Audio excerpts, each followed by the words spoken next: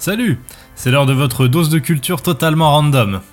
J'espère que vous êtes contents. J'arrive après la bataille, mais il y a un moment, on a bouffé des experts sur Twitter nous lançant à tout va des démonstrations du foreshadowing qui pour le coup n'en étaient souvent pas. Donc on va pas parler de ça. Aujourd'hui on va parler du fusil de Tchekhov. Drôle de nom pour une technique plutôt simple. Le fusil de Tchekhov, qu'on appelle aussi loi de conservation des détails, tire son nom d'Anton Tchekhov. Ce monsieur c'est un dramaturge russe dont le principe repose sur une règle des plus basiques mais pas toujours respectée.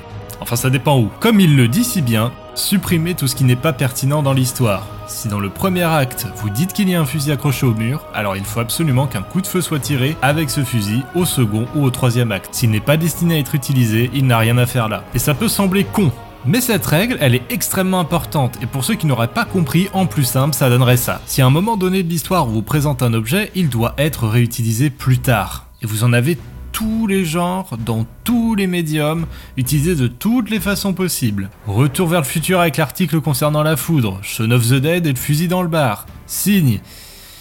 Euh, là, il y en a partout, le film est basé là-dessus. Le cinquième élément avec la boîte d'allumettes. Et vous en avez sûrement vous-même des exemples par neuf centaines. Un fusil de Chekhov, c'est ça. Juste avant de vous quitter, je vous invite à vous renseigner, ou à attendre que les vidéos dédiées sortent aussi, sur le foreshadowing. C'est un anglicisme très mal utilisé sur la twittosphère et c'est parfois plus qu'agaçant. Certains pourraient être surpris des conneries qu'il raconte. Sur ce, la bise.